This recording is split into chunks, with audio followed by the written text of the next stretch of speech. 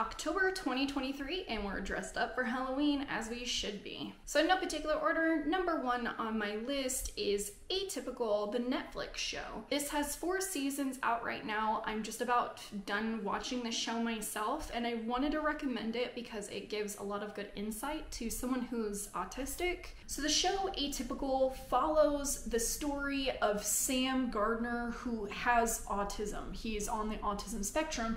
It follows him and his family and the kind of struggles that go in hand in hand with being autistic or having someone in your family that is autistic. And then also just daily struggles of, you know, American family life, kind of going through that. So there's a lot of like social tropes and stuff in the show. I don't really like those, but the show in itself, the good things, the humor, it's it's actually really wholesome on some of those things. And it shows very quickly like the differences between a neurotypical and a neurodivergent person. They're quick, easy episodes. There's a lot of good laughs, a lot of good things in them, so I really recommend that. Number two on the list is Dr. Squatch soap. So this is what a Squatch man should smell like. We got this soap for my husband, I want to say more than a year ago. He's been using it actively ever since. He has tried a ton of the different smells and scents that they have.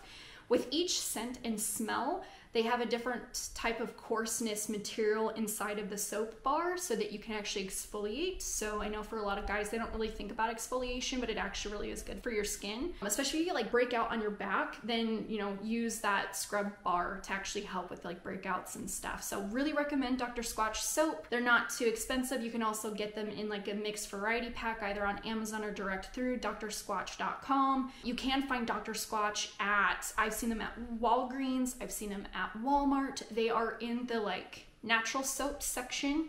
So it might take a little bit to find it, but really recommend. They're very clean smelling, just absolutely great. My husband loves them, so really recommend that. Number three on my list is a foundation. I have been doing a ton of foundation videos lately, and I think I actually found the foundation that I wanna use, at least for now. I'm really surprised. It's e.l.f. foundation, so very cheap cheap makeup. I got this on sale on Amazon. They had the little bottle for $3 as opposed to the, oh my goodness, $6 that it usually is. So it's not expensive at all. It's drugstore makeup, but that foundation, it has a bit of a fragrant smell to it when you go to apply it.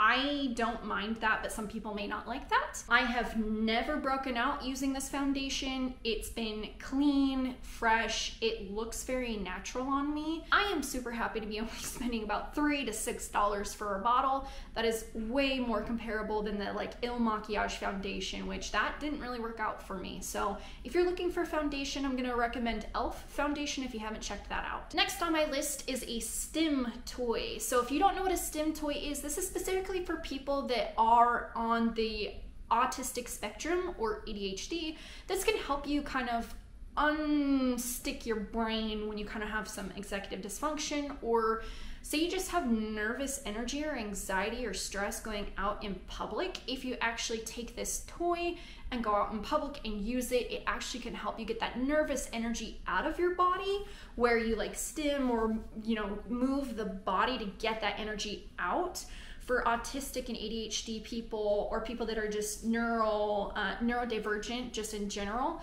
for a lot of people that nervous energy can build up and you need a way to get it out of the body um, for a lot of people that are neurotypical they may not understand this premise but for those that do I have a toy to recommend for you. So these are Stimara from Stimara.com. Right now there's a $24 with discount code. Um, you can get a pack of these. They have different colors. Right now, my husband just got put on the list for the glow in the dark or black light um. Super, super cool. So really recommend that if you have tried different stim toys and you're looking for something that's a little different. This is thin, little magnet pieces. They stick together. You can make different variations of items with those magnets. It's kind of like creative flow, also getting that nervous energy out of the body. So really recommend this. And then last but not least on my list is Stutz, the documentary. If you have not seen this documentary on Netflix, I really recommend this for everybody. Jonah Hill started seeing a therapist for some of his issues that he was going through after struggling in Hollywood and also just in general. A lot of us struggle, we don't realize that we're struggling. Jonah Hill went found a therapist. His name is Stutz and the tools, the tools that he has come up with in the uh, working experience that he's uh, you know helped thousands of people with these tools are invaluable. They're they're just the premise the idea behind them. They are backed by other psychotherapists and stuff like that. So if you are interested in watching something that's about two hours i really recommend stutz the documentary on netflix fantastic and then also i'm going to recommend along with the documentary the book that they just released which is the tools um, with Stutz and also a co author. Fantastic, really recommend. So go check that out. And those are all my top picks for October 2023. If you have tried any of these things, let me know down in the comment section. If there's anything else you want me to give a try, also drop that down there as well. And as always, guys, thanks so much for watching. Remember, I love every single one of you. I hope that you have a great day. Remember to spread kindness to yourself and to others, and I'll see you guys in my next video.